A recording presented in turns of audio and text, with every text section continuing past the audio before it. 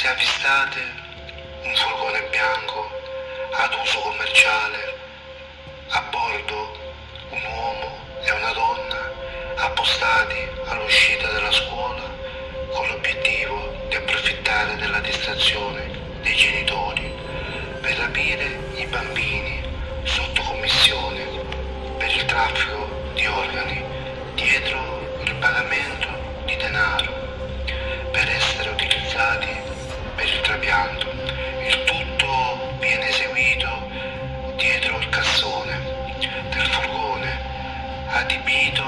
una specie di macabra sala operatoria,